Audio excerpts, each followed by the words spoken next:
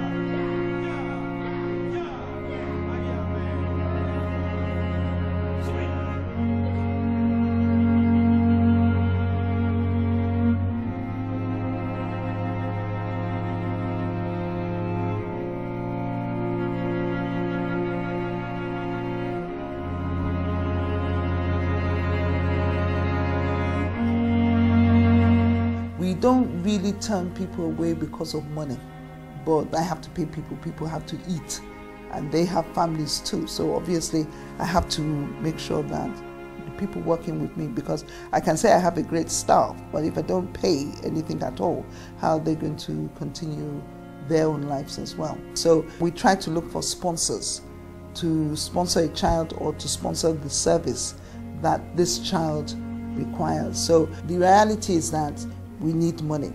Now, even for parents that are paying here, we have what we call um, a sliding fee scale. It means that not everybody pays the same thing. So, the families that are richer, that can afford more, they pay more, and then it sort of goes down like as to the extent whereby people cannot pay anything at all.